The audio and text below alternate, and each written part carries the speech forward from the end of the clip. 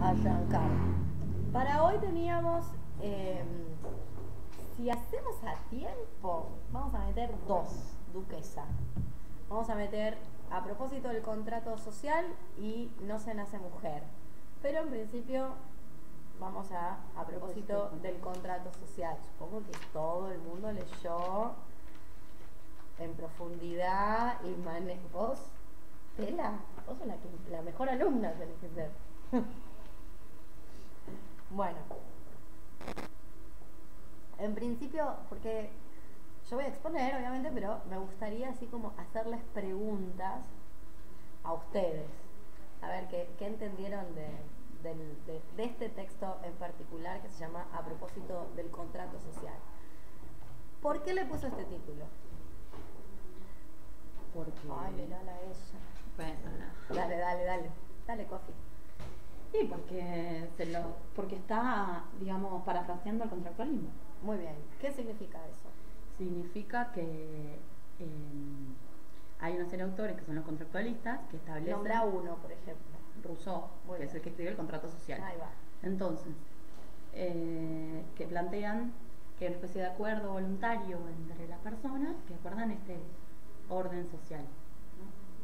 Y eh, bueno, en ese libro que incluso sin haberlo leído, la mayoría lo, lo conocemos, donde hay cosas como mi derecho termina donde empieza el del otro, esas cosas que, que permanentemente están, eh, como que ella dice que a propósito de, de este contrato social que se, se- se plantea como el contrato, eh, tiene una serie de, de advertencias, por lo menos, como de qué estamos hablando cuando hablamos de un contrato social. Muy bien. Efectivamente, está perfecto. Eh, quiero agregar un- una serie de cuestiones.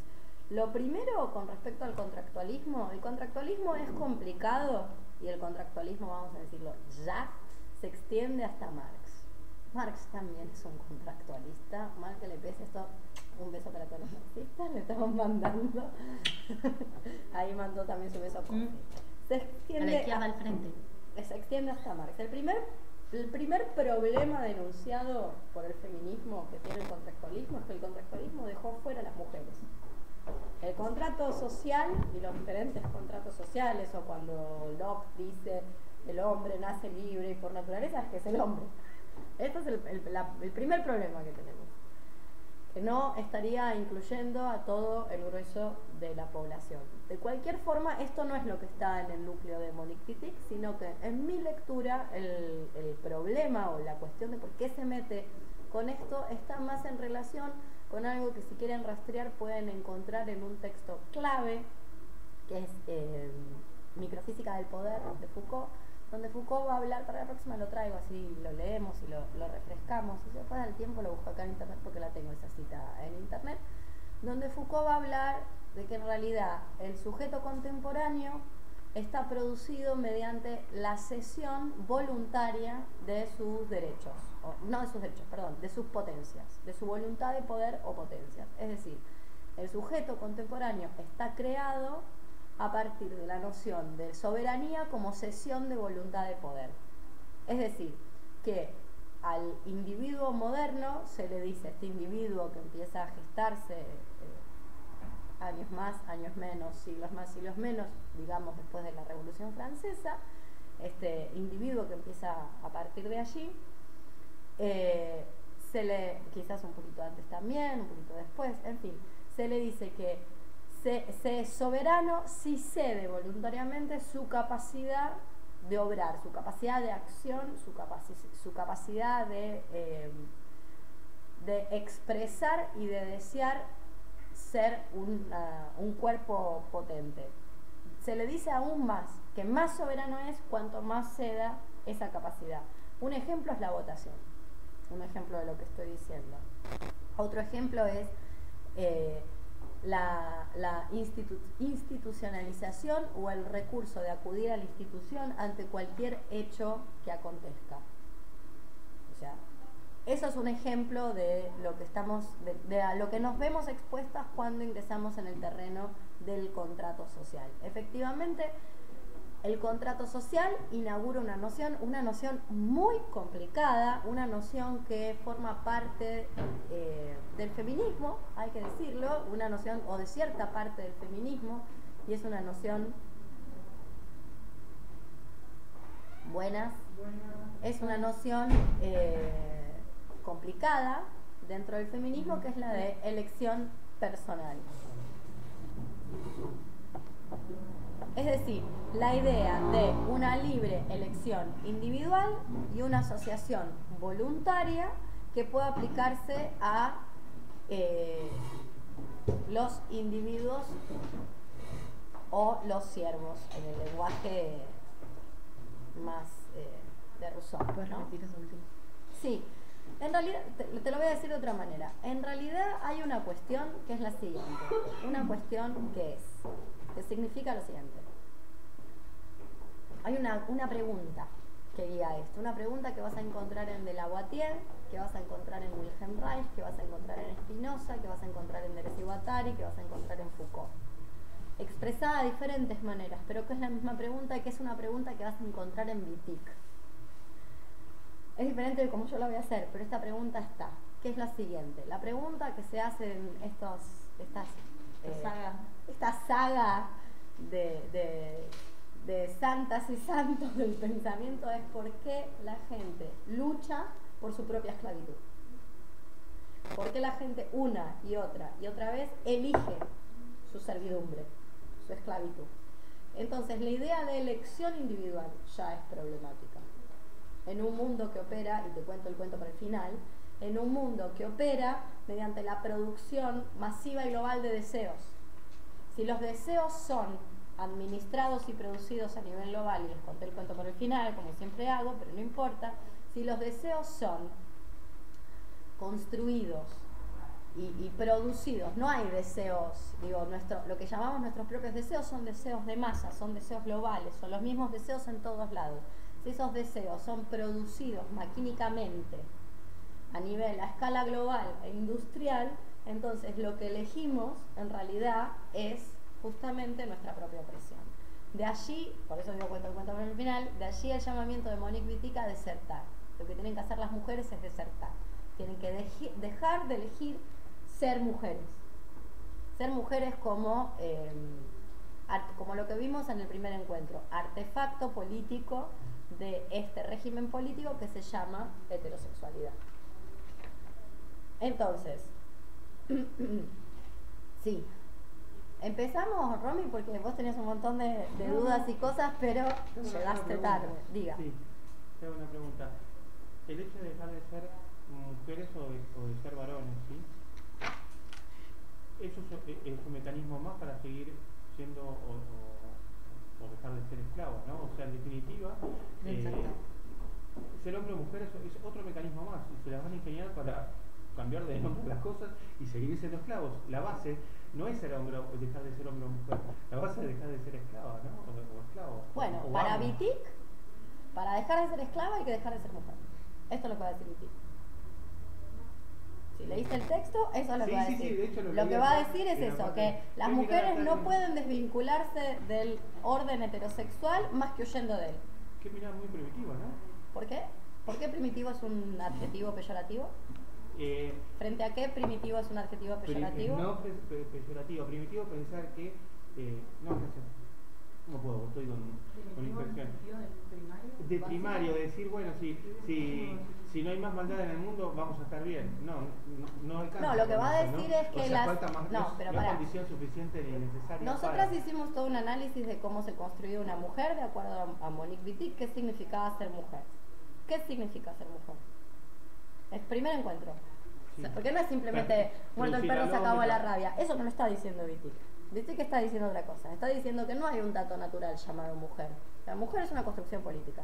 Es una construcción política de un régimen. Vos querés acabar con el régimen, tenés que fugar de él. No se puede fugar como mujer, porque la mujer es una producción de este régimen.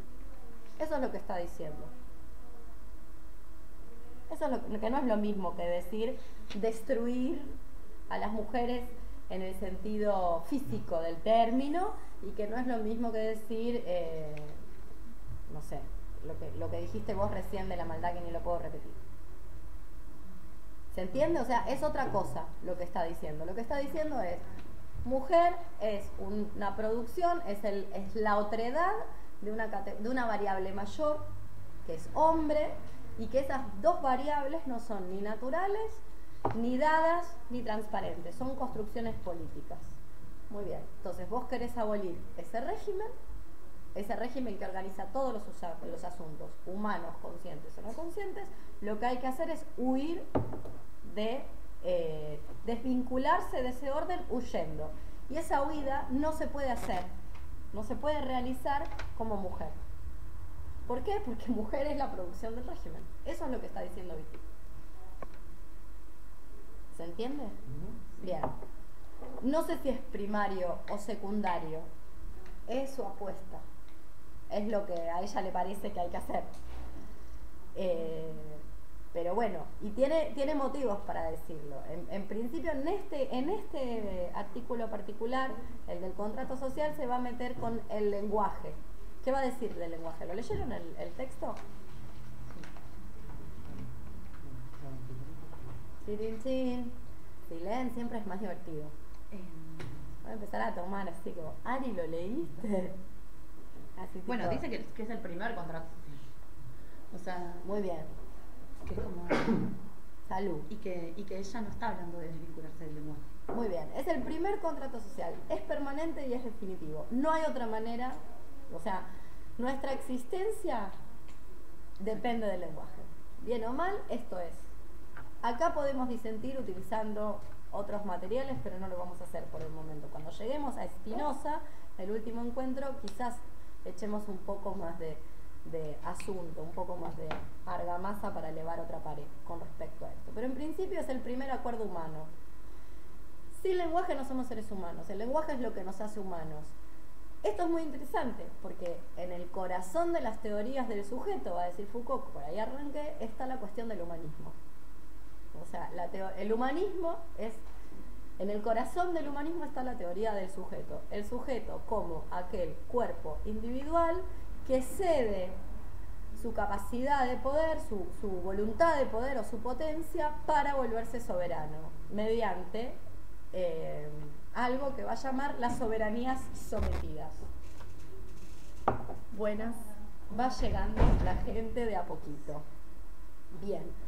Entonces, y también es muy interesante porque uno de los problemas principales del humanismo es que hay un montón de gente que no está incluida dentro del ser humano, justamente por eh, carecer de un lenguaje, carecer de un lenguaje articulado, audible oídos humanos, entendiendo lo humano como esto.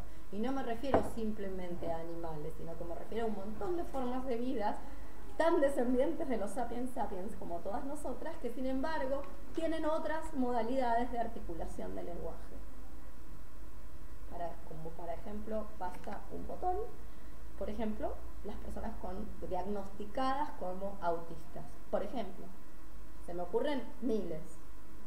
¿Se entiende lo que quiero decir? Entonces, uno de los ataques principales, que no lo vamos a encontrar en BITIC, pero que a mí me parece fundamental empezar a pensarlo a partir del contrato social que ella está criticando en este artículo, tiene que ver con que si el lenguaje es aquello que nos hace humanos, entonces el lenguaje está dejando fuera gente muy valiosa, por cierto, que no es incluida como humana. En vez de tratar de incluirla como humana, quizás hay que salir del humanismo, entendiendo que el humanismo lo que hace es producir soberanías sometidas. O sea, eso es lo que hace el humanismo como noción. Y de hecho, una de las cuestiones que, eso lo vimos en el primer encuentro, una de las cuestiones fundamentales del humanismo, de la humanidad y del ser humano es que dictamina quiénes son humanos y quiénes no. ¿Se entiende? O sea, cuando construyes a esos pares opositivos, esos, esos eh, pares antagónicos opositivos, produce a uno como orden mayor y otro como variable menor. Entonces, lo que es humano define todos quienes no son. Y esa frontera de quiénes son humanos y quiénes no son movibles, son contingentes. A veces, a lo largo de nuestra historia, quienes no han sido humanos han sido, por ejemplo, las personas eh, afrodescendientes, algunas personas a lo largo de la historia, ¿no? Otras veces han sido los no humanos, han sido los judíos, hoy claramente son los palestinos, los animales nunca están dentro del humano y evidentemente ciertas personas diagnosticadas o consideradas con ciertos diagnósticos médicos tampoco. Porque de acuerdo a esta definición, ¿no? Si el contrato social está definido por lo que nos hace seres humanos, esto no lo dice Wittig, ¿eh? lo dice Rousseau, eh, es el lenguaje, y yo no lo utilizo de la manera que es audible a los oídos. O sea, ¿se puede ser más inteligente, más sensible sin ser humano? Más sensible desde ya, inteligencia no sé a qué te referís. Digo, capacidad, digamos, de extrapolarse mucho más eh, en otras dimensiones o, o, ir, o llegar a, situaciones más... Eh, Mira, los agua viajan al mundo de sus ancestros. Más lejos que eso a mí no se me ocurre dónde viajar. y la población indígena, digo, al día de hoy no es considerada humana, si no, no le estarían desmantelando la selva. Si no, los considerarían propietarios de sus tierras.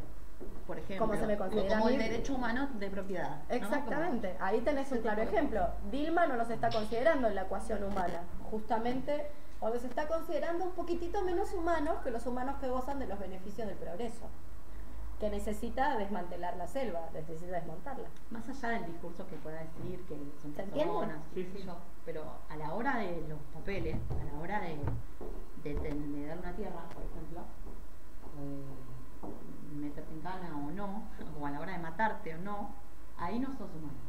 Hay una serie de condiciones que tenés que reunir para que tus derechos sean derechos. Que a la vez son privilegios, en ese sentido, porque si otros no lo tienen, entonces, al principio yo decía que uno de los graves problemas que tiene el contrato social es que no es recíproco. ¿Recuerdan? O sea, el contrato social no es recíproco. ¿Por qué no es recíproco? Porque el contrato social, como la Carta de Derechos del Ciudadano que se establece después de la Revolución Francesa, es para el ciudadano, no para la ciudadana. Y mira cómo le fue a la que quiso hacer la Carta de la Ciudadana. Le cortaron la cabeza como eh, a María Antonieta, ni más ni menos. Le dijeron, ah, mire, usted alguien de Bush había sido revolucionaria. Sí, hasta ahora que vino a pedir sus derechos. Váyase y como no se fue, chao, te quedaste sin cabeza. Tal cual. Entonces, lo que va a decir Wittig al respecto, Wittig no va a tener una postura, por lo menos en este texto, una postura que tenga que ver con eh, alcanzar nuestro pleno derecho de reciprocidad, sino con romper el contrato. O sea, lo que ella va a plantear es que hay que romper el contrato, no hay que pedir que nos incluyan. En parte por esto, o sea, la que fue a pedir, che, ¿me incluís en la Carta de Derecho del Ciudadano? Yo también soy ciudadano. Le dijeron que no, después le cortaron la cabeza. Entonces dijo, bueno, no, mejor no, tratemos de, gozar de esa reciprocidad que de hecho no gozamos, sino que rompámoslo. Para romper ese contrato social hay que fugar este es el, núcleo de la cuestión. Y para fugar, esa fuga, de acuerdo a lo que está diciendo Monique Wittig, no se puede realizar siendo mujer. O sea, eso no es algo que se pueda realizar eh, para huir de la para huir del orden heterosexual hay que dejar de ser mujeres. Esto es como algo que se encuentra a lo largo de todo el texto y de los otros textos también. Muy bien. ¿Qué supone la adición a este contrato? ¿Qué supone la suscripción a este contrato en BITIC? Estoy preguntando a propósito del texto. El contrato supone una suma de, de convenciones que están implicadas en un modo de vivir en esta sociedad. ¿Se acuerdan cuáles son? Ser heterosexual. Muy bien. Tiene reglas ser heterosexual. ¿Cuáles son? Son reglas que todas acordamos. De ahí esto que yo les decía antes. ¿Por qué una lucha por su propio sometimiento? esta es una pregunta que no está dicha explícita, pero que podemos, eh, puede emerger de la lectura de este texto y que vamos a encontrar en otros autores también que ya mencioné. Entonces, decía, vea, eh, la heterosexualidad resume unas reglas. ¿Cuáles son? ¿Te acordás? Casamiento. Muy bien, casamiento. ¿Qué más? Reproducción. Muy bien. ¿Qué más? ¿Quiénes crían? Las mujeres. Muy bien. Eh, Reproducción ilimitada. Ser, ser cómo, ser qué. Servil. Ser hombre o ser ah, mujer. Muy bien, entonces ser hombre, ser mujer, casarse, tener hijos, hijos que crían en especial las mujeres. Entonces vivir en sociedad es vivir en la heterosexualidad. si una quiere formar parte de la sociedad, tiene que vivir bajo estas reglas. Bueno, en fin. Por eso Guarrachino nos ofrecía la isla. Yo creo que habría que haber ido. Tendríamos que haber aceptado, eso es obvio. a, la- a esta altura, a esta altura de los hechos, ante la evidencia, igual nos íbamos a la isla y no sé, tal como están las cosas, una se pone a preguntar si ciertas prácticas que se producen dentro del lesbofeminismo son producto de vivir dentro de la heterosexualidad o de no haber fugado de ella.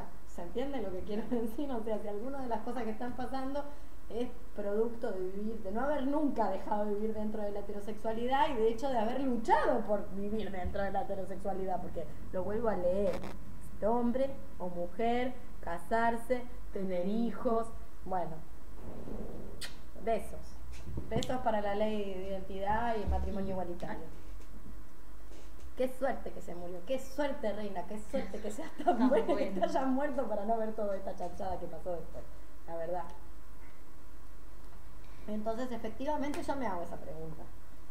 Si ciertas prácticas eh, de las cuales adolece nuestro querido movimiento o grupo identitario y que todas padecemos, son prácticas eh, heredadas o contaminaciones o identificaciones mal avenidas de vivir dentro de una sociedad heterosexual o en realidad de, no sé, habría que pensarlo.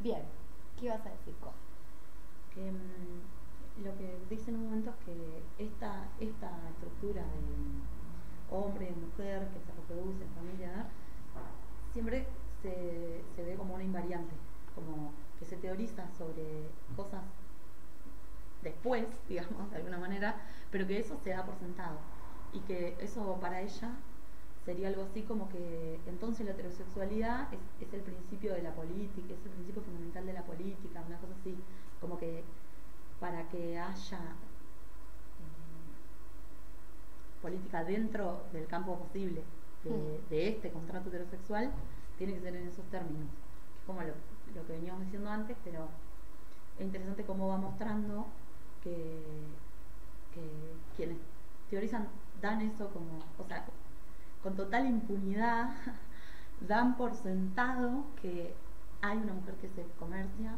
o que hay una mujer que es menos que el hombre necesariamente, digo, en su biología, en su construcción, en su funcionamiento. Vamos a dar ejemplos, así, así eh, queda claro esto que estás diciendo. Por ejemplo, cuando Levi Strauss dice que la cultura, que la civilización se funda sobre un tabú, ¿qué tabú es?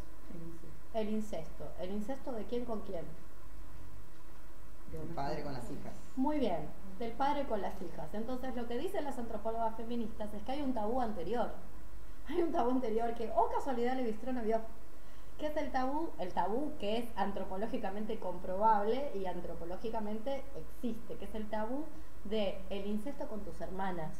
Recordemos que esta cuestión pequeño burguesa de tener una habitación para cada eh, vástago es una es algo bastante primero que no está largamente extendido porque hay que tener dinero para tener una habitación por, por hija sobre todo cuando son hijas del mismo sexo eh, y que no era una práctica recurrente y extendida en otras en otros momentos culturales. Es decir que la primera iniciación sexual probablemente o la primera identificación amatoria probablemente haya sido con la persona que dormías que era tu hermana tu hermana o tu hermano en el caso de los chicos ¿se entiende? entonces el primer tabú el que Levi Strauss primero no ve tiene que ver con el incesto entre hermanas o entre hermanos.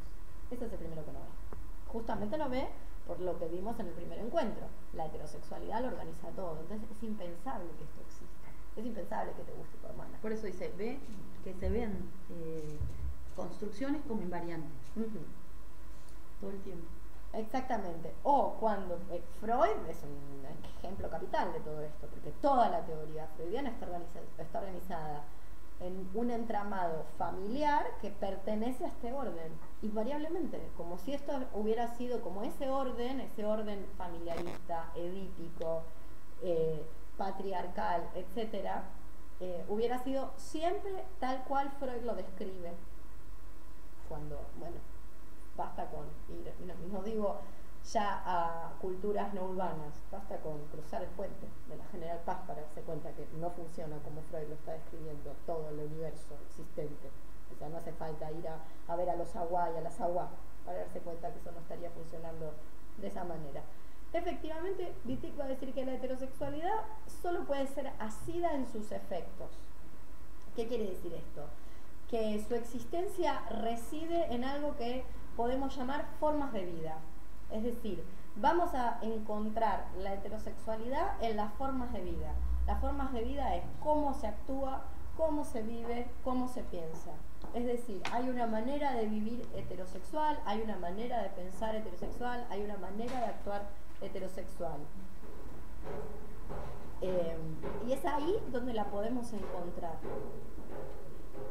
En, esas formas de en, esas modalidades de existencia. Obviamente es una existencia social. Recuerden lo que, lo que hablamos en el primer encuentro. Cuanto menos social sea mi existencia, más posibilidades hay, que no es lo mismo que decir que es, más posibilidades hay de que mi existencia sea menos heterosexual. Es decir, que la heterosexualidad, o dicho de otro modo, que el reconocimiento social es la puerta, de acuerdo a estas teorías, o se podría derivar de la lectura, una lectura posible de estas teorías, es que a mayor reconocimiento social, mayor ingreso dentro de la matriz de la heterosexualidad como régimen político. Porque es la heterosexualidad la encargada de organizar esas formas de vivir, esas formas de pensar, esas formas de organizarse. ¿Se entiende? O sea, cuanto más antisocial sea eh, mi existencia, entonces más difícil será de, ser absorbida por el régimen heterosexual. De hecho, la heterosexualidad, creo que esto, eh, eh, no sé si, lo habían pensado alguna vez, la heterosexualidad era la norma, bueno, es la norma social. Por ende, como decías vos recién, no necesitaba, al ser eh, la norma total, no necesitaba de ninguna ninguna teoría que la sustentara, ninguna teoría que explicara cómo se produjo. O sea, no vamos a encontrar hasta el pensamiento contemporáneo prácticamente teorías que den cuenta de cómo se produce la heterosexualidad en los cuerpos. Al día de la fecha la gente habla de la heterosexualidad como elección, habla de la heterosexualidad como orientación. Bueno, si la heterosexualidad es una orientación, parece que todo el mundo está orientado en el mismo sentido, son como las calles en el mundo, que excepto un país o dos, todos los coches tienen el volante al mismo lado y se anda con el coche para el mismo lado. Es medio así la heterosexualidad. Todo el mundo parece que está orientado de la misma manera. Que Qué raro. Eso es la característica de la orientación. La, orientación es hacia el oriente, es algo que es inamovible. El sol, no importa dónde está, mm. sale por el mismo lado, es algo, entre comillas, natural. Entonces, la orientación depende de la naturalización. Tal cual, perfecto. Es buenísimo ese ejemplo, no lo había pensado, es, genial. Efectivamente, hacia el oriente. Sí, tal cual. Todos con el mismo horizonte. Las orientaciones, ¿cuándo te empiezan a vender la orientación? ¿Con el psicoanálisis? ¿Cuándo, ¿cuándo surge la heterosexualidad? Más bien las orientaciones. No, la heterosexualidad. Acá estamos en la heterosexualidad. Orientaciones, a ver, orientaciones. Prácticas sexuales siempre hubo. A Dios gracias y a la Virgen. De Ana Fausto Sterling decía que en 1864 era homosexualidad y después se inventa el término heterosexual. Claro. Pero pasan como unos 100 años para que se empiece a hablar de orientación. Justamente, esa es la prueba. si vos me preguntas a mí, la heterosexualidad como régimen político surge con el contractualismo. O sea, surge con la idea, con una organización que vas a encontrar en varios autores. Vas a encontrar en Locke, vas a encontrar en Smith, vas a encontrar en Rousseau, vas a encontrar en Hobbes, vas a encontrar en Marx.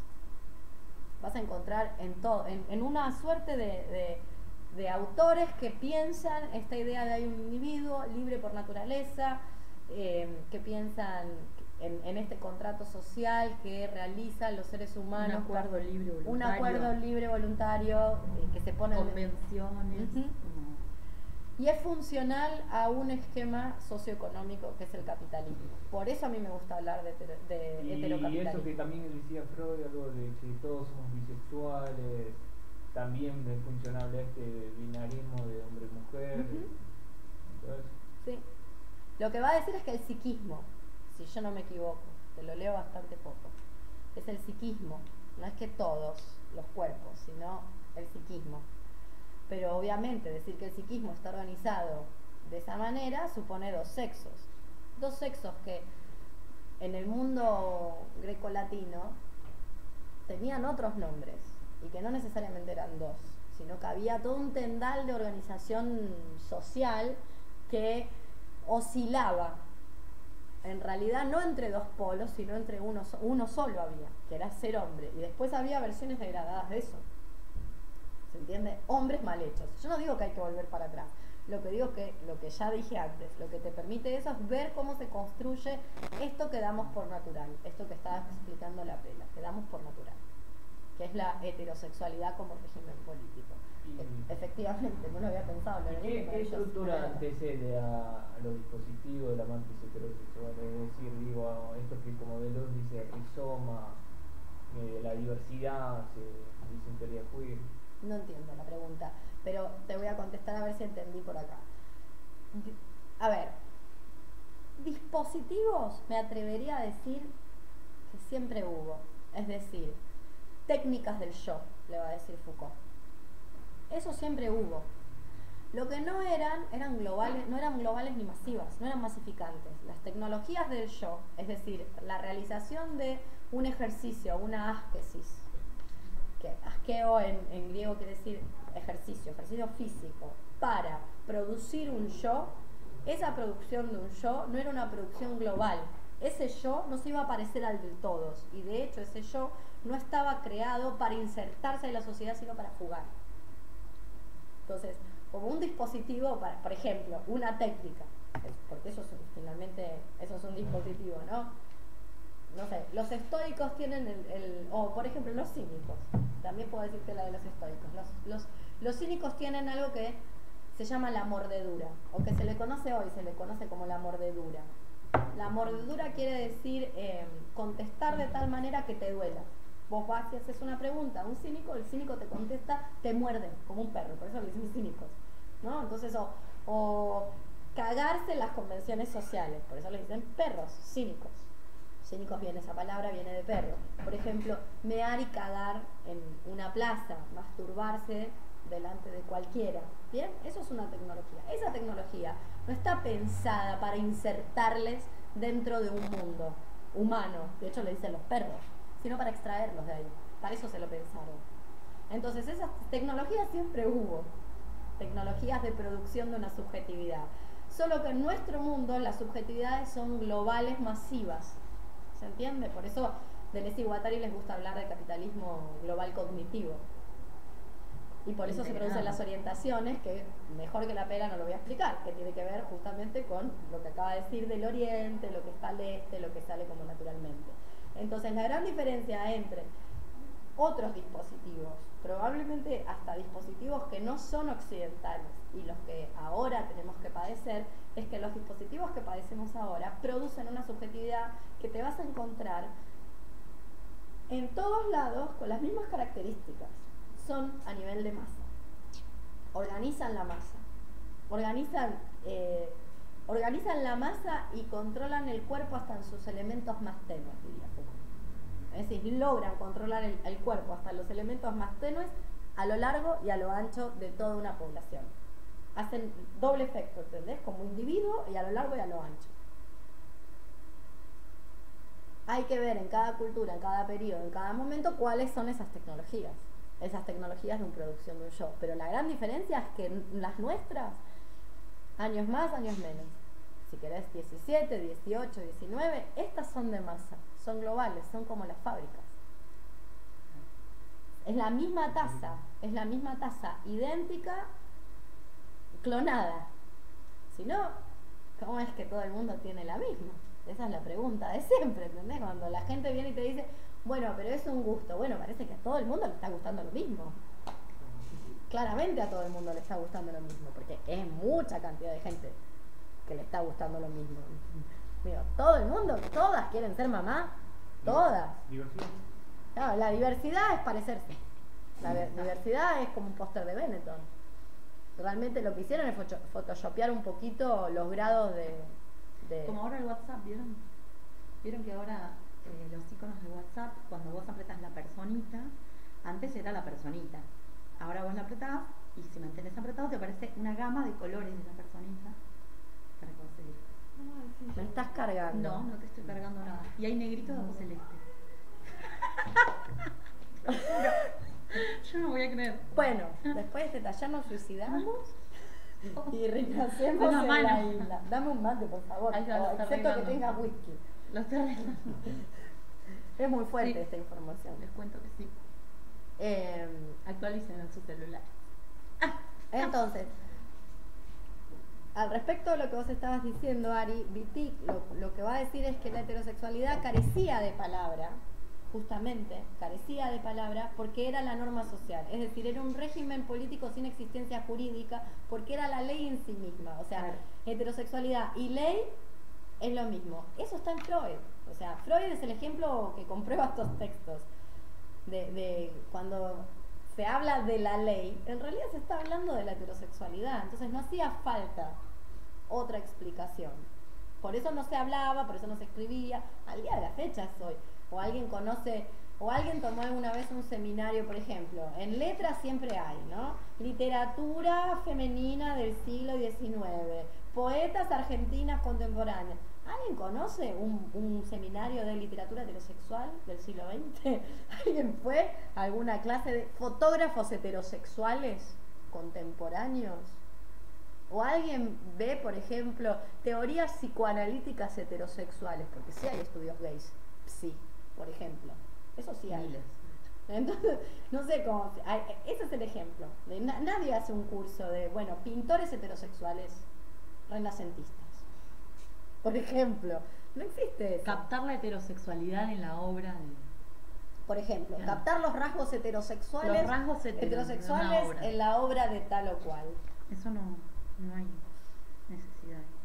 Bien, entonces, buena parte de los textos de Wittig están orientados, ahora que aprendimos qué quiere decir, están orientados a eh, o abogan por o arengan hacia la ruptura del contrato social.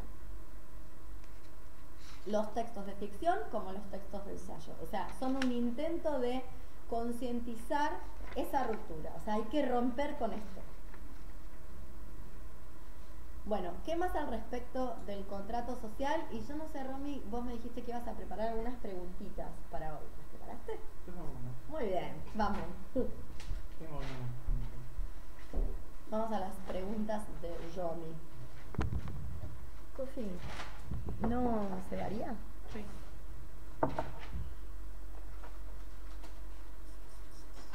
Y nos queda, no se nace mujer, ¿eh?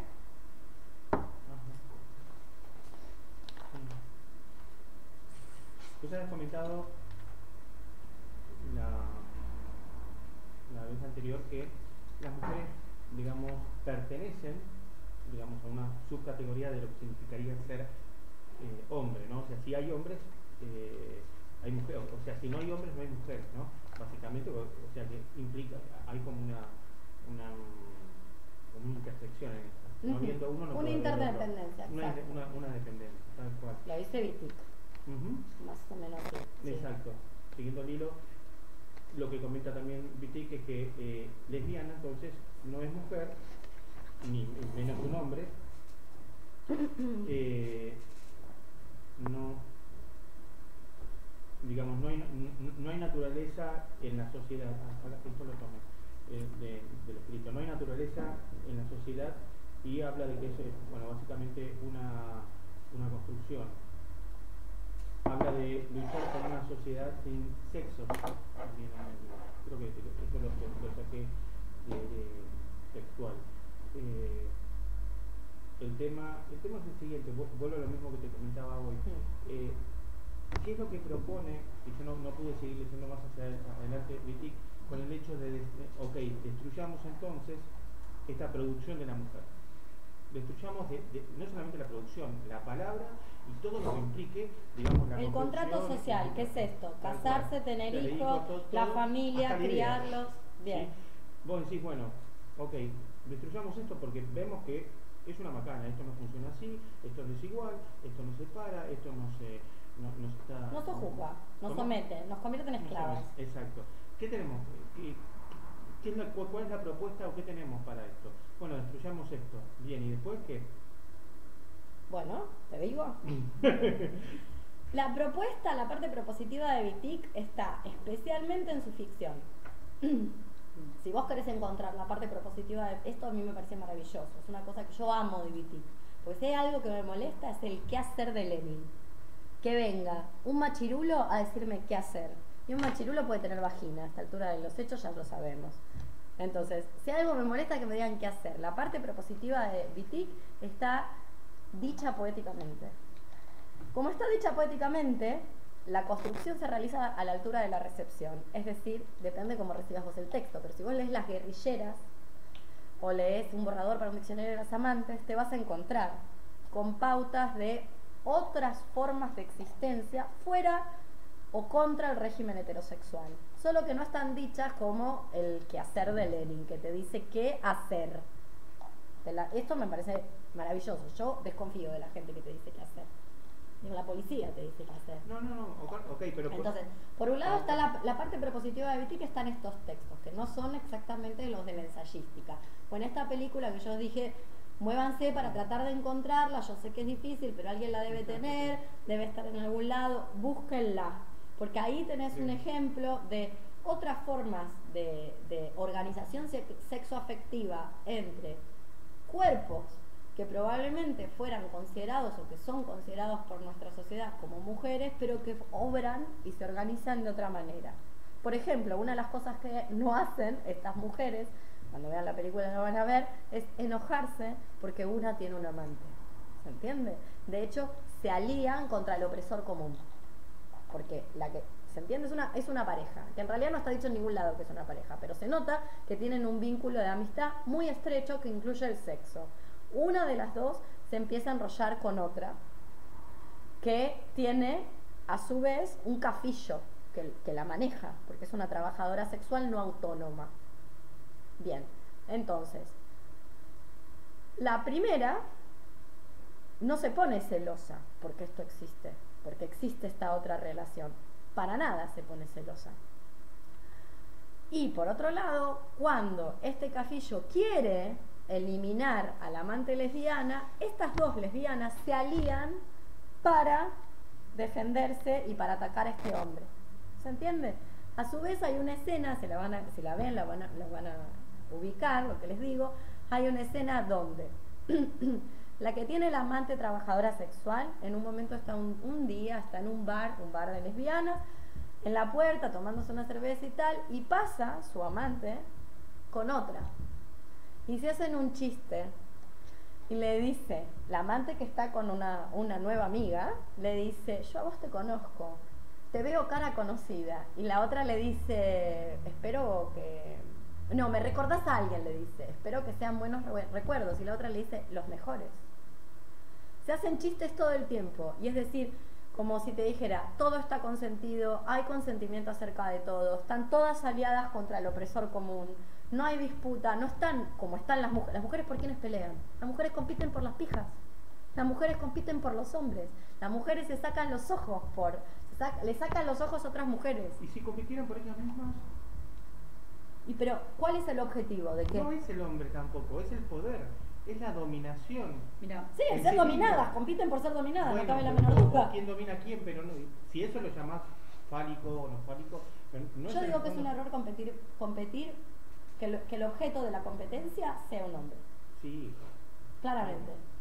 Eso es un error. Que el objeto, que las mujeres estemos enemistadas ah, entre nosotras por varones es un error. Lo que diría Wittig es que esa enemistad no se va a acabar en tanto seamos mujeres. Que para acabar esa enemistad tenemos que devenir otras cosas. Si vos me preguntás a mí, a esta altura de los hechos, el ser lesbiana no alcanza. Claramente. Bueno, entonces habrá que devenir monstruos.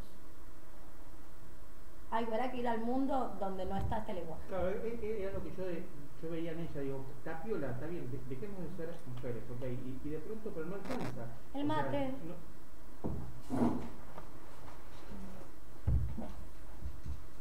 eh, siento que hablo todo el tiempo. Pero quiero- Habla, pero habla todo el tiempo. Em, me parece que cuando vos decís, em, bueno, Dame el mate. dejamos de dejamos de ser mujeres, eh, dejamos de servir a los hombres, dejamos de competir por ellos, dejamos de, de someternos a su eh, digamos A sus reglas, sí no valores, no y a su a sus recursos Sí, digamos a, a disponer de los recursos económicos. Mientras estamos dejando de hacer todo eso es porque estamos haciendo otra cosa Exactamente, eso es lo que yo te iba a decir ahora. Perdón, te No, interrumpo un segundín. La negación es una proposición. Así funciona la dialéctica negativa. Decir lo que no es decir qué. Si yo te digo, los, los otros cómo pueden ser muchos pero ese no Exacto, yo te digo, hay cosas, digo, la heterosexualidad se resume en unas reglas que todas acordamos voluntaria y libremente, que son ser hombre o ser mujer, casarse, tener hijos, criar esos hijos, vivir en sociedad. Bueno, entonces te estoy diciendo que no. No hace falta que te diga, entonces hace lo contrario. Está acá. Eso. ¿Qué es lo que quiere decir con esto? Hablé de los dispositivos, hablé de los dispositivos como productores de subjetividad y hablé de la subjetividad global, es decir, la misma subjetividad acá, en Tailandia, en Madagascar y en Suecia. Con grados, por supuesto. Con pero- matices. con matices, pero la misma subjetividad. Las mujeres, todas de pelo largo. Las mujeres, todas delgadas. De hecho, hay un video en YouTube de una. hacen como. muestran cómo ha evolucionado el maquillaje de las mujeres desde los años 20 hasta la actualidad en China, en Estados Unidos, bla, bla, bla, bla. y se ve como en un momento Convergen. cada uno convergen impresionantemente y que en el año 2015 todas las mujeres son iguales y desean parecerse a a A algo- A una Barbie. A algo que no existe además. Algo que no existe. que- y que nunca vamos a alcanzar. Y esta es la trampa del ideal regulatorio. Porque mientras andamos arrancando la piel por alcanzar ese ideal regulatorio, nunca se llega, por eso es un ideal. Justamente por eso es un ideal. Filipinas tiene un sistema bastante interesante, eh, no sé si en Polinesia, tienen cinco, cinco géneros. Ellos de- describen en su cultura, desde miles de años, que para que poder estar en naturaleza con el, con el universo, tienen que coexistir los, los, los cinco géneros. Hay un género que sería casi equivalente al, al de ser hombre, otro al de ser mujer, otro, bueno, de ser transmasculino, transfemenino, y hay uno que es el que se conecta con todas las deidades, ¿no? Como que están todos, una cosa así, que es el que, que- que hace. Bueno, ahí, ahí tienen otro, ya otro, otro tipo de mirada y eso de la- en la actualidad sigue estando, o sea, claramente eso ya no, no puede ser heteronormativo por desde, desde, las raíces, ¿no? que ese tipo de información no venga, no esté a disposición, eh, no sea masivo, no- habla y responde a esto que estamos diciendo de la heterosexualidad como ejemplo. Es como el Animal Planet, parece que todos los animales fueran, por- o sea, existieran en sociedades gregarias heterocoitales. Vos prendes el, el Animal Planet y parece que todos los animales son así, ¿no? Así es la vaca, el toro. O sea, la verdad es que la mayor parte... Como la boca al toro. Como la vaca al toro. Bueno, ¿se entiende? O sea, tiene que ver con esto. Tiene que ver con un- una producción de subjetividad. Entonces, como contestando a tu pregunta, la parte más positiva de Vitic, por suerte, está en textos menos ensayísticos y, y más del orden de la ficción y de la poesía.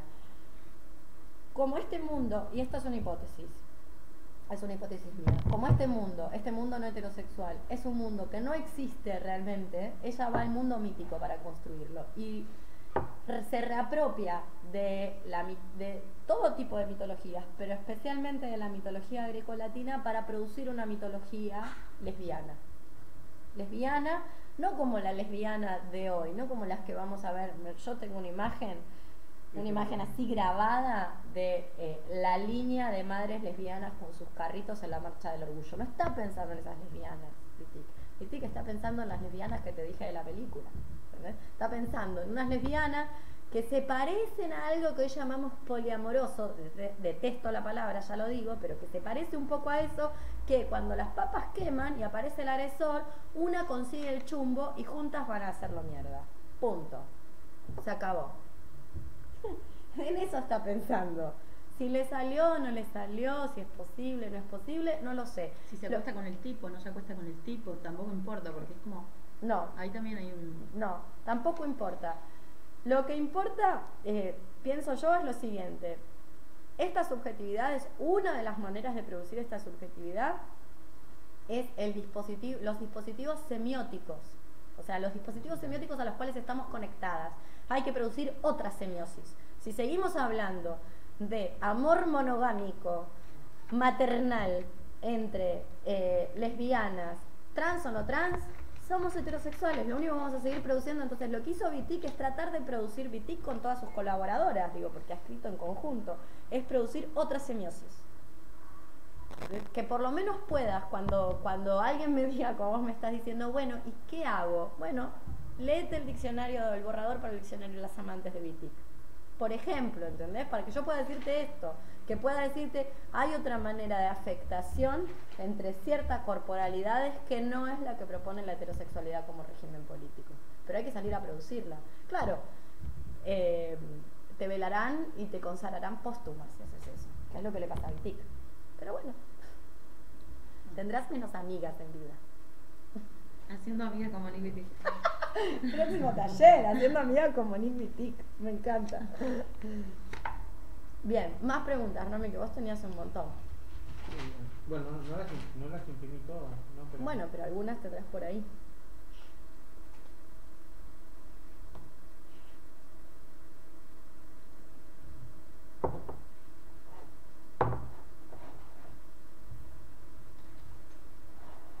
Sí, sí, bueno, entre otras cosas tampoco está el tema de, que yo lo puse acá, de la lucha de clases, y hablo de clases de, también de poder, clases económicas y clases sociales, o sea, más allá de una división, digamos, hetero no hetero, eh, más allá de, de destruir el, el tema de, digamos, de la apuesta de destruir el, el binarismo, ¿cómo, cómo se, se destruiría el, el tema de- de clases? Porque de base seguiríamos teniendo otra heteronormatividad con otro nombre, con otros jugadores o con otros, eh, eh, eh, participantes, pero con, el, con- el mismo tipo de juego.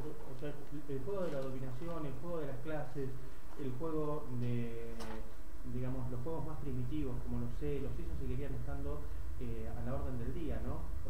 Pero los, celos color, no son primitivos, sé que las sociedades que Occidente llama primitivas tienen menos celos que las occidentales contemporáneas y modernas. De verdad te lo digo. ¿Sabes por qué? Porque no tienen propiedad privada. Porque si sos cazador-recolector, sos nómada, no tenés propiedad. Entonces, ¿qué vas a reclamar? No tenés tiempo de, de. No, no, no, pero no por, por reclamar. Me, me refiero a mecanismos primitivos porque están. No son, primi- más allá que te no son los primitivos. No son primitivos y no son de base. Son una producción del capitalismo heterosexual. Existían ya desde antes que existiera el capitalismo y todo, ¿no? Muchas de esas. Pero, o sea, supo- digo, los celos están en Grecia y Roma. ¿Vos le dirías primitivo a Grecia? sí, Bueno, en general no se le dice. Se le dice primitivo a un pueblo que la antropología llama, con este nombre vulgar, etnográfico. A eso se le dice primitivo. Y ahí yo vine acá, hace poco tiempo, sigo repitiendo la misma charla porque me gustó mucho, de las comunidades agua y ves a las agua que se acuestan, que tienen uno, dos, tres maridos y se acuestan con toda la tribu. Nadie las mata. Y acá en Buenos Aires te matan por mandarle un mensaje de texto a un amigo que suponen que eh, con el, no- ni que te lo acostaste, a ver, no llegaste ni a eso, ¿entendés? Un pibe con el que hablaste del gimnasio y le estás diciendo, che, ¿a qué hora es la clase mañana de pilates? Y viene tu novio y te pega 46 cuchilladas. Entonces, eh, a eso voy, ¿entendés? Como hago hincapié en esto porque en sociedades sin propiedad, sin propiedad, es más difícil que emerjan ciertas cuestiones propiedades, ¿no? propietarias. No digo que no, digo que es más complicado. O sea, hay que ver los dispositivos de ejercicio de la dominación. La, la propiedad es uno de los, eh, sí, es la- uno de los. Es un mecanismo más. Es casi te diría La el mecanismo. mecanismo. Bueno, pero la raza es se crea? La raza es una creación blanca. Sí, no sé si blanca, pero lo que sí ya. ¿Cómo que no? defi- no? pero ya define diferencias. Porque en realidad, si hablamos de que, bueno, que son seres humanos, personas, eh, entidades, eh, qué sé yo, para no, no separarlo por, por esto, entran todas, ¿no? Pero si es de color, eh, eh, qué sé yo, más blanco, si es de color más rojizo, si es de color eh, azul pitufo, no sé, si es de otro color, ya de, nuevo esa necesidad de segregar que tiene el ser humano, ¿no? Y si no es a través de eso, es a través de la religión. Vos crees en, Alá, vos en Mahoma. Esto vos siempre Buda, surge, vos esto siempre te surge, vos, Romy. Vos me decís en el ser humano. Bueno, entonces, ¿sabes qué? Gasolina y a quemarlos a todos. No. Yo no creo que sea del ser humano. Yo creo que a lo sumo, cuando me pongo muy, pero muy, muy mala, yo creo que es de cierto sapiens sapiens, urbano, contemporáneo, eh, cuya subjetividad está producida en este mundo.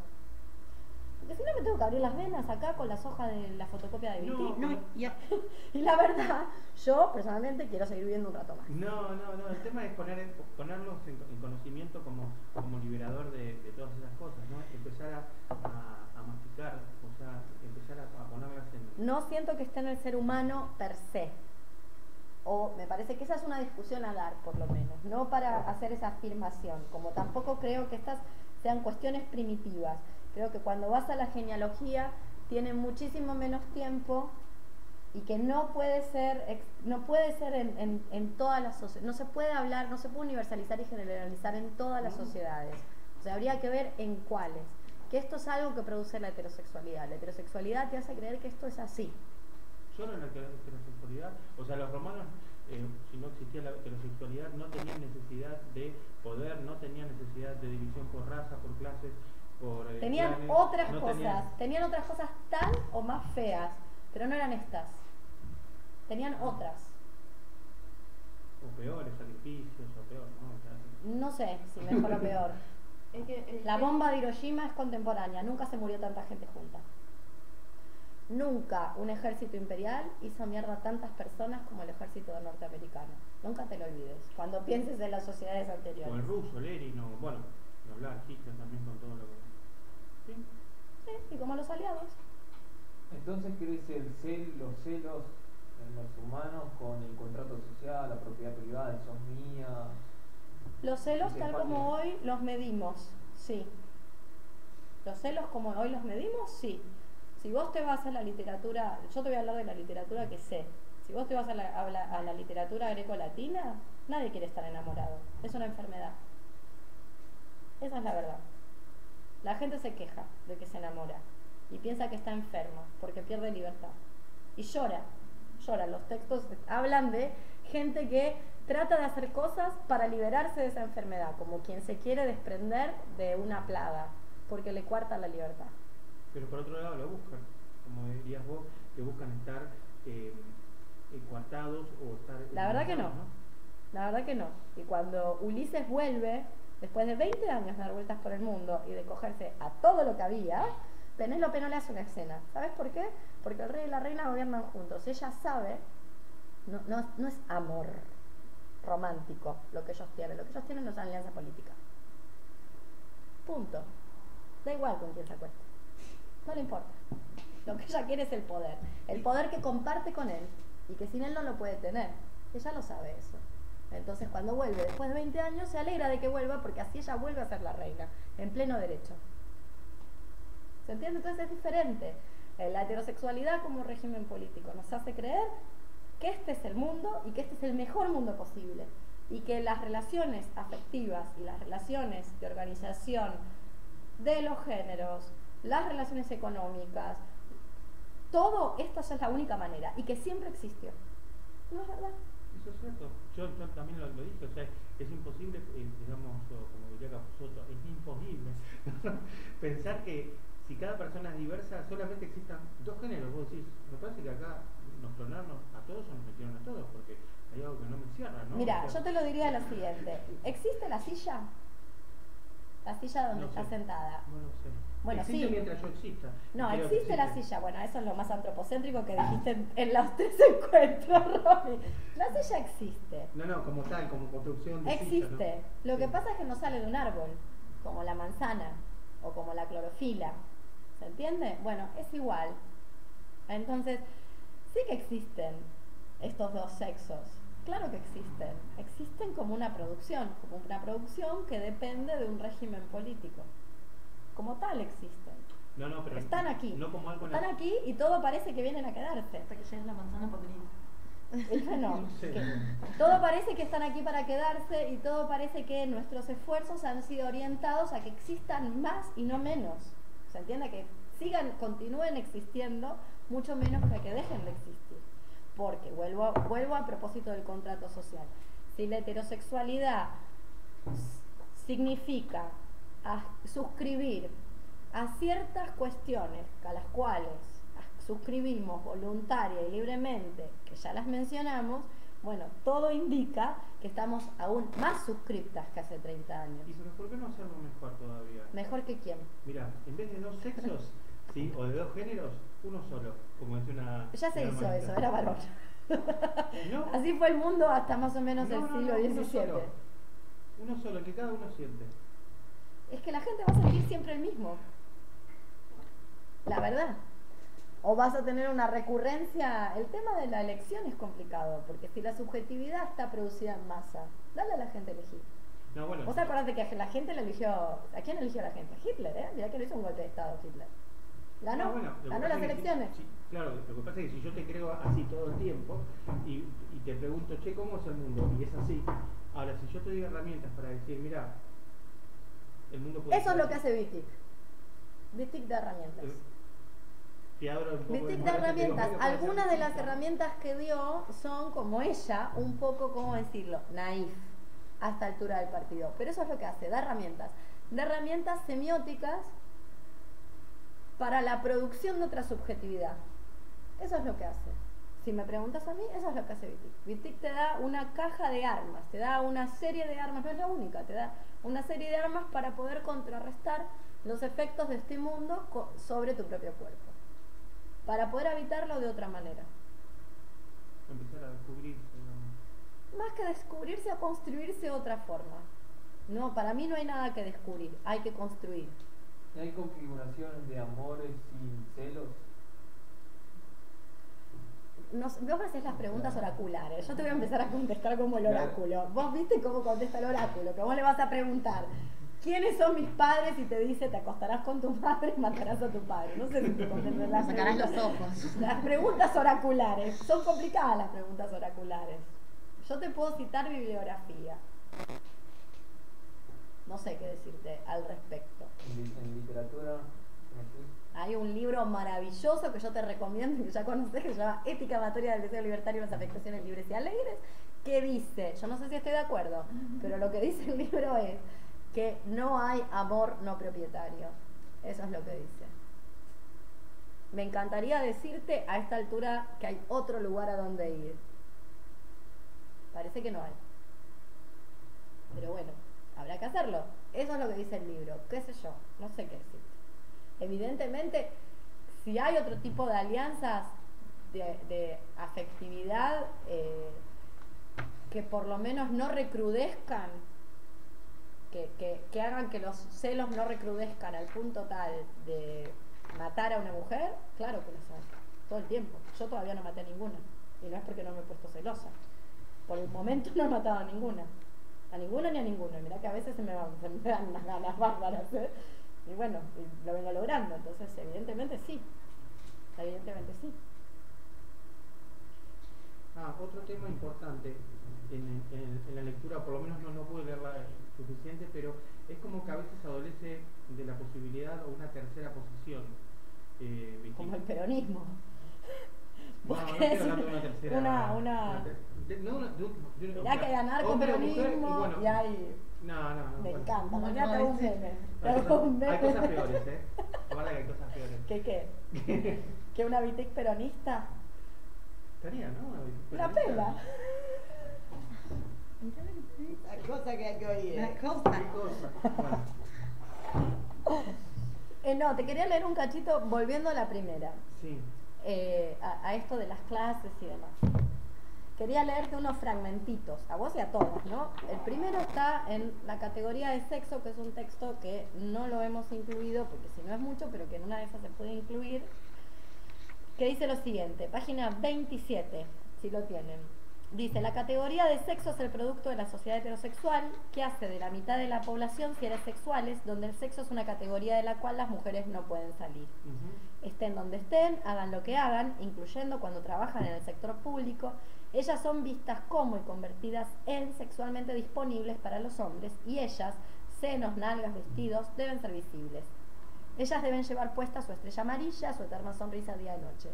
Se puede decir que todas las mujeres, casadas o no, deben efectuar un servicio sexual forzoso, un servicio sexual que pueda compararse al servicio militar y que puede durar, según el caso, un día, un año, 25 años o más. Las mujeres son, son muy visibles como seres sexuales, pero como seres sociales son completamente invisibles. Y aún así deben hacerse lo más pequeñas posibles y deben siempre disculparse. Basta con leer las entrevistas a mujeres excepcionales en las revistas para ver que siempre se disculpan. La categoría de sexo es la categoría que une a las mujeres porque ellas no pueden ser concebidas por fuera de esa categoría. Solo ellas son sexo, el sexo, y se las ha convertido en sexo en su espíritu, su cuerpo, sus actos, sus gestos. Incluso los asesinatos de que son objeto y los golpes que reciben son sexuales. Sin duda la categoría de sexo apresa firmemente a las mujeres. Un cachito más. La categoría de sexo es una categoría que determina la esclavitud de las mujeres y actúa de forma muy precisa por medio de una operación de reducción, como en el caso de los esclavos negros, tomando una parte por el todo. Una parte, el color, el sexo, por la cual tiene que pasar todo un grupo humano como a través de un filtro. Hay que señalar que lo referente al Estado civil, tanto el color como el sexo deben ser declarados. Sin embargo, gracias a la abolición de la esclavitud, la declaración del color se considera ahora una discriminación. Pero esto no ocurre en el caso de la declaración del sexo, algo que ni siquiera las mujeres han pensado en abolir. Bien, entonces a tu pregunta con respecto de las clases, lo que está, la operación que está haciendo Vitic es una operación transversal.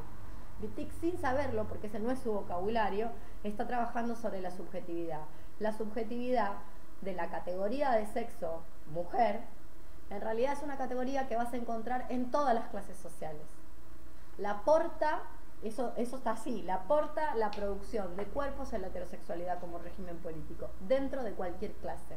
La categoría de sexo mujer es una categoría que te vas a encontrar, no importa cuál sea el sujeto de tu revolución, por decirlo de alguna manera clásica.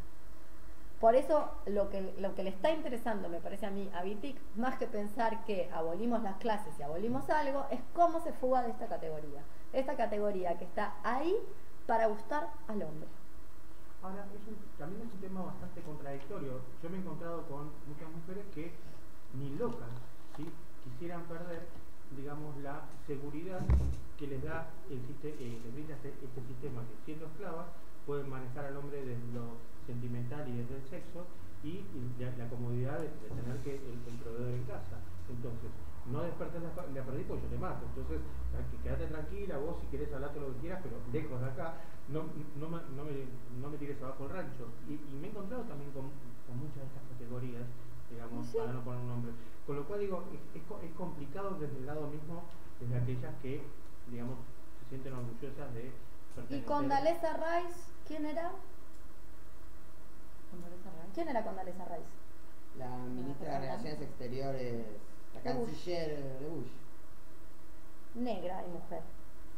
Angela Davis debe estar petrina. O sea, por decir algo, o sea, sí, te vas a encontrar. Justamente porque el régimen opera en el corazón mismo de la cuestión. Sí, y Obama es negro. Y no es Mandela, ¿eh? Realmente no es Mandela. No, no. Entonces, sí, te vas a encontrar, justamente porque lo que garantiza existencia, lo que garantiza tu buena existencia social es que vos encarnes el régimen.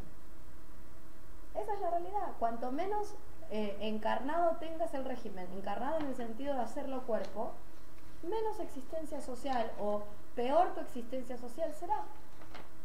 Todo el mundo quiere una buena existencia social. Cuando, cuando vos decís, ahora que decís eso de si vos encarnás el régimen, tenés una mejor ex- existencia social o, o podés disfrutar del privilegio del régimen de alguna manera.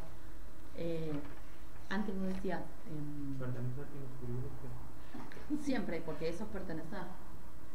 Eh, cuando vos decías, eh, esto, perdón mi ignorancia, con respecto a temas, pero estos dos, estas dos personas que decías que gobernaban juntos, Ulises y Penélope, está, Ulises y Penélope, Odiseo y Penélope. eh, decías, no tenían, no, no era amor, era una alianza política.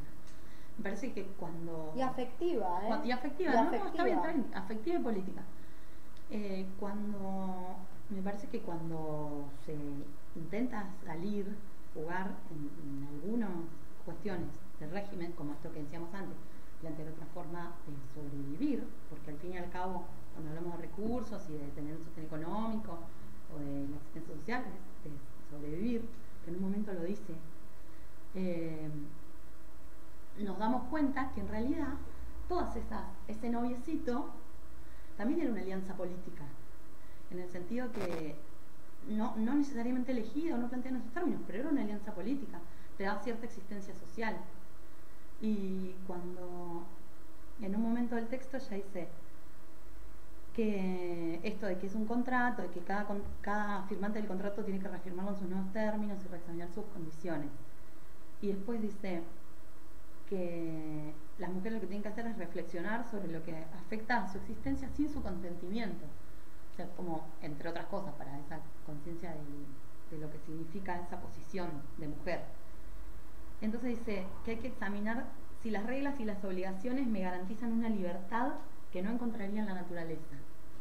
Como, haz- como hacer consciente el hecho de que en realidad todas esas alianzas, o sea, todas esas relaciones que establecemos son alianzas de carácter político, porque son las que te están dando esa existencia. Y, o sea, y examinarlas en el sentido de,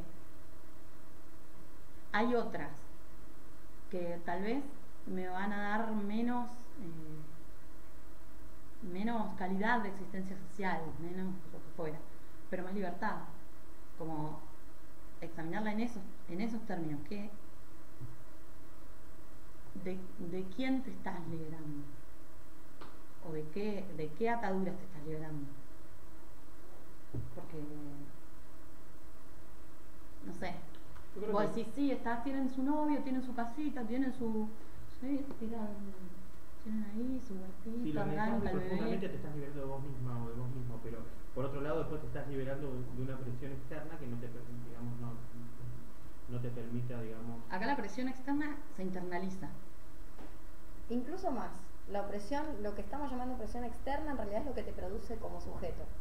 Lo que te produce como sujeto es el poder. O sea, el poder produce un sujeto y ese sujeto, lo que hace Wittig es analizar esa producción de sujeto en términos de varón y mujer. Los sujetos son sexuados. No hay sujetos sin sexo. De hecho, para ser sujeto hay que tener un sexo. ¿Podríamos desarmar eso, desagregarlo? De nuevo las preguntas oraculares. Ajá. Claramente. De hecho, esto no funciona en, en todas partes. No todo el mundo es sujeto. De hecho, no todo el mundo es sujeto de derecho. Y lo bien que hacen en no serlo. Si me preguntas lo bien que hacen. El problema es que como occidente le parece que lo más maravilloso del mundo que te puede pasar es ser occidental, está viendo cómo occidentaliza a todo el mundo. Pero la realidad es que hay un montón de personas que se organizan, bien o mal, de maneras que no son estas. Quería leer otra cuestión más, que esto está en el, en el texto que ya no llegamos para ver hoy, que vamos a ver la próxima, que es el No se nace mujer, en la página 43. Dice, pero destruir la mujer, entre comillas, no significa que nuestro propósito sea la destrucción física del lesbianismo simultáneamente con las categorías de sexo, porque el lesbianismo ofrece, de momento, la única forma social en la cual podemos vivir libremente. Además, lesbiana es el único concepto que conozco que está más allá de las categorías de sexo, mujer y hombre, pues el sujeto designado lesbiana no es una mujer ni económica, ni políticamente, ni biológicamente. Lo que constituye una mujer es una relación social específica con un hombre, una relación que hemos llamado servidumbre, una relación que implica obligaciones personales y físicas y también económicas, asignación de residencia, trabajos domésticos, deberes conyugales, producción ilimitada de hijos, una relación de la cual las lesbianas escapan cuando rechazan volverse o seguir siendo heterosexuales. Somos desertoras de nuestra clase, como lo eran los esclavos americanos fugitivos cuando se escapaban de la esclavitud y se volvían libres. Para nosotras, esta es una necesidad absoluta. Nuestra supervivencia exige que nos dediquemos con todas nuestras fuerzas a destruir esa clase, las mujeres, con la cual los hombres se apropian de las mujeres. Y esto solo puede lograrse por medio de la destrucción de la heterosexualidad como un sistema social basado en la opresión de las mujeres por los hombres, un sistema que produce el cuerpo de doctrinas de la diferencia entre los sexos para justificar esta opresión.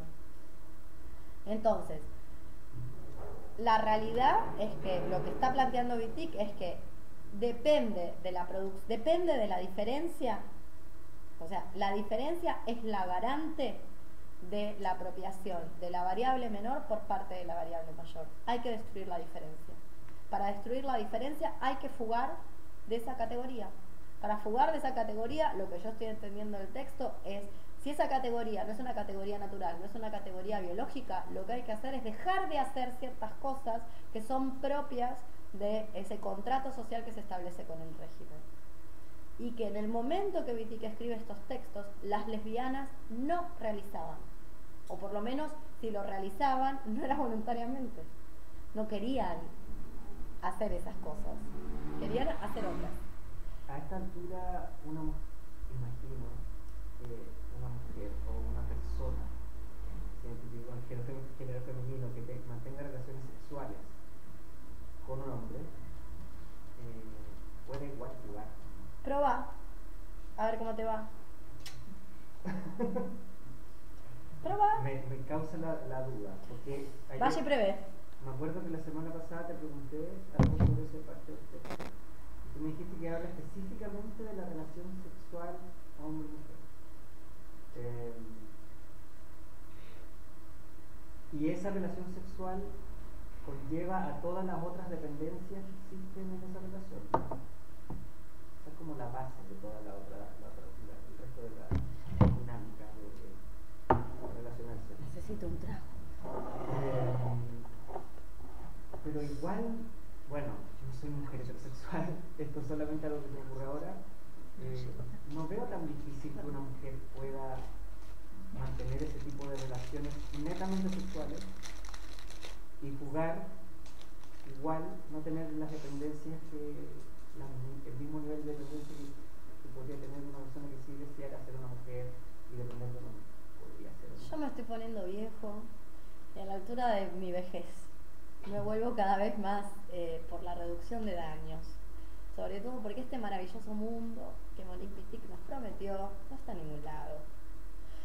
Y que te voy a ser muy franca, si me van a violar, quiero que me viole un varón. Porque si después yo lo mato, quiero convertirme en heroína. Y la realidad es que si me violas, yo te cago matando. Esta es la verdad.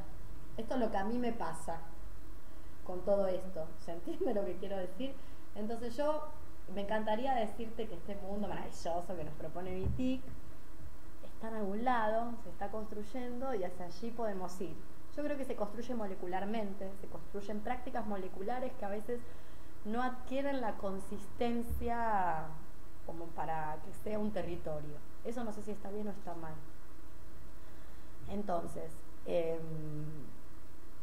a lo que, lo que estoy intentando decir es que este, este mundo tan copado de, de estas lesbianas fugadas, como estaban los quilombos negros, no existe, por lo menos donde yo vivo. ¿Vos lo viste? Bien, ya somos dos. Digo, como si existieron los quilombos negros, que eran otra, como habíamos visto la otra vez, eran otras formas de organización de esclavos fugados del régimen de servidumbre. Quizás porque les abrieron la puerta y no querían mantenerlos más, tal vez por eso, pero lo cierto es que fueron y organizaron su propia comunidad. Bueno, yo no me lo encontré, el quilombo lesbiano. Me encantaría encontrármelo, pero no me lo encontré. Entonces, frente a eso, una opción eh, es la que te estoy planteando, como eh, si me van a oprimir, quiero que, que me oprima sea una persona que si yo después hago cagar, me den una medalla cuando la haga cagar. ¿Se entiende lo que quiero decir? Vos entendiste lo que quiero si, decir. si viene una chonga a querer violarte, el riesgo de que la comunidad la proteja es muy alto. Exactamente. En cambio, si yo mañana me toca el culo a uno de mis compañeros en jiu-jitsu, yo le tiro una llave de brazo y le rompo el brazo. Punto. Y todas ustedes me van a dar una condecoración. Y probablemente hasta mi profesor de Jiu-Jitsu me da una condecoración por el ni una menos y toda la gilada que conocemos, ¿se entiende? Entonces, creo que esto lo que invita es hacer eh, una crítica propositiva a lo que ha pasado con el mundo lesbiano. ¿Y por qué ha pasado? Que tiene que ver con, eh, con la encarnación de ciertos valores que son propiamente heterosexuales y que no tienen que ver con la construcción de otro mundo. Eso es lo que te diría. Con respecto a que hay posibilidad de establecer relaciones sexuales de no dependencia del, hombre en términos afectivos, las trabajadoras sexuales autónomas son un claro ejemplo de ello. Y de hecho todas deberíamos cobrar, de un modo u otro. Todas deberíamos cobrar. De un modo u otro deberíamos encontrar, creo que una de las trampas de la liberación, de la supuesta emancipación sexual de las mujeres heterosexuales de la revista Cosmopolitan, que básicamente te dice cómo tener un orgasmo con el chorro del bidet. A esta altura ya está diciéndole a las secretarias y a las oficinistas cómo tener un orgasmo con el chorro del bidet.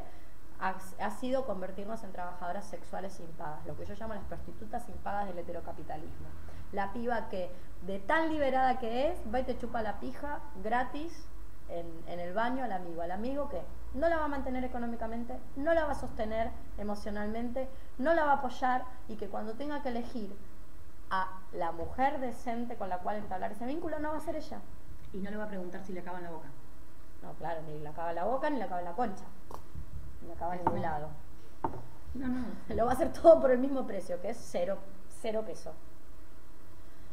Esto es lo que yo opino con respecto a si se puede, esto que te decía, la reducción de daños, si se puede establecer, si se puede, si una mujer puede establecer relaciones con un varón que no produzcan esto, creo que se pueden reducir los daños.